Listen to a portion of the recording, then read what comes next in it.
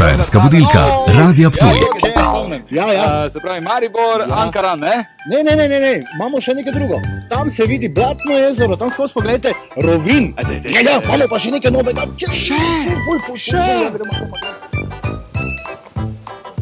Dobrodošli v našem prenovljenem svetu. Samo tu je čas za počitek, malo imamo pa še tudi čas za intimni počitek. To, zdaj pa dobrodošli v našem svetu, samo osem jih imamo. Pa se turško imamo, finsko imamo, eh, medeno imamo, tisati težke, ali je tudi turška. Eh, Imamo še turško, imamo dve eh, rdeče infra, to, vse imamo. No, zdaj pa, ko se boste sprehodili skozi naš duš presenečenja, bolj pa tu in tu boste lahko spet švicali. Lepo, lepo.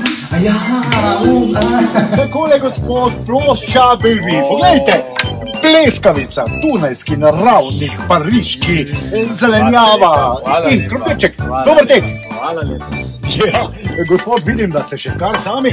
To je plošča za dve osebi. Ok, gremo. Ajde.